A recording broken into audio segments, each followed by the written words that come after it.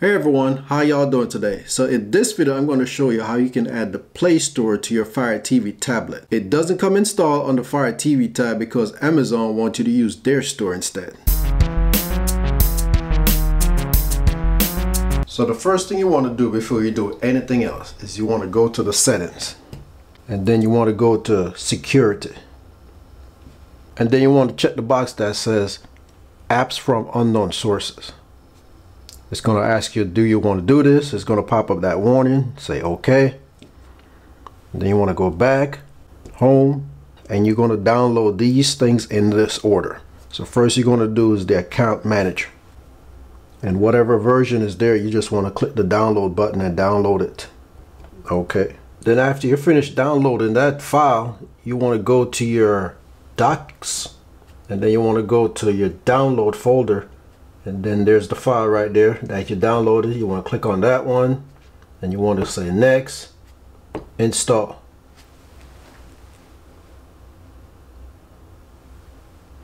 Now these things you're doing you have to do it in this order. You have to do it in this particular order for this whole thing to work. So now that that one is installed you said done. And you want to switch back over here go back back again and then go to the next one on the list go down. Download APK click OK. Click open. Next. Install. That's done. Click back. Back again. The third one. Stroll down. Download APK okay now there's a little dim thing down here. You can click open. If that's not there then that's when you go to the doc folder and then you just hit the download folder and then you download it from there.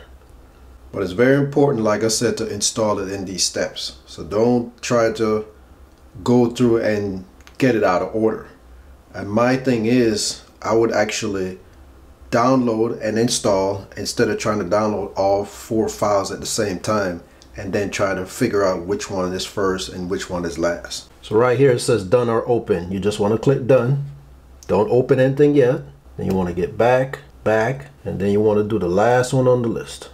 Stroll down, download APK. Okay. See that open thing went away. It went down, so I missed it. So this is when you want to go to the folder. So when you get here, you want to go to the one with the last time and date. So right here says February 15, 2019 at 2024, which is 824. So I want to click that one because that's the last one that got downloaded. Click next, next, install. And each one of these is going to take a different set of time to install. So you just got to be patient while it's doing the installation. So right now it says done. So you want to click done. And now that you completed all four installation, and right here it shows you all four files. Now if you want to actually download all four files at the same time, just keep a note of the time so you can install them in the right order that they need to be installed. So right now what you want to do is you want to go out, hold the power button down, and then you want to do a power off. So basically you're shutting down the device and then you're just going to start it back up. So once it complete the reboot, then the Play Store is going to be an icon just like on your Android phone or another Android tablet, you'll see the Play Store icon. So now that we're back at the lock screen, so all you have to do is do the unlock and you can stroll down and you should be able to see the Play Store icon. There it is right there. You just give it this time to check the info, you know, as far as your service. And then all you have to do right now is sign in. So after you sign in, it's going to check your information to make sure you're the right person that's assigned to that account and then boom there it is the play store. That easy. So now from the play store you can download any apps that you want because i'm liking some apps that i would like to put on this actual tablet. You know you got your u lights that i use and then uh, some games that i like to play that's not available on the amazon app store.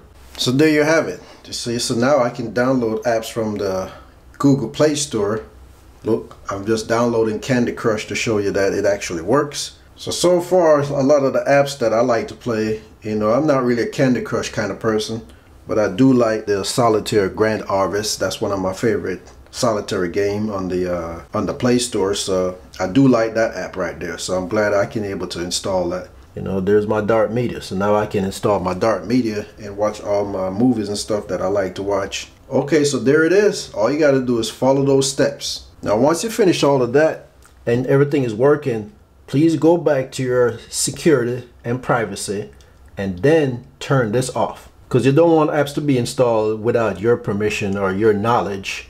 So turn that off and then, you know, you can have that comfort level that nothing is being installed without your permission. Now, I know I said in the video when I first introduced this tablet that I purchased that I'm going to do two videos, one with the Play Store install and another one with the ads remove. Now, the Play Store is a four-step process. Well, actually, it's a five-step process, but it's pretty much easy to do. Now, actually taking off the ads is a little bit more technical. So, me being a programmer, I know how to do all that technical stuff it's not a bother for me, but it's not going to be as easy for everybody else. So there is an option. Amazon does give you the option to pay them $15 to actually remove those ads permanently. And it's a one-time fee, so it's not like you got to keep on paying it every year or every month or whatever. A one-time $15 fee, that's the easy way to do it because the technical way is a little bit challenging in a way. And if you mess it up, and you do the wrong thing, you could disable your tablet from working again. So that's what I would recommend. Also, I heard that, you know, even if you do it the technical way, instead of paying the $15, Amazon probably push out an update and re-enable the ads. I don't know if that's even worth you going through that. I personally think just pay the 15 bucks, remove the ads, or if the ads not bothering you, just ignore them.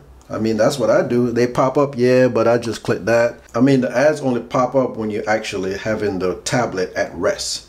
So they're not bothering you when you're actually using the tablet. The ads only going to be there when you unlock the screen from not using it and it's just been sitting there. Okay, so that's going to be it for this video. As you can see, the steps to install that Play Store on your Fire HD tablet is pretty simple. You go to the settings, unknown sources, Download each one of those links in order and make sure you install them in that order. Once you complete, reboot your tablet, click on the Play Store link, sign in, go to the steps, and then once you complete that, you'll be on the Play Store. Download a couple free apps to see if it's working, and before you forget, go back into settings and then turn off the unknown sources. Okay, so that's it. This is Chard the Tech Guy, and I'm Chard. Have a good one, and I'll see you next time.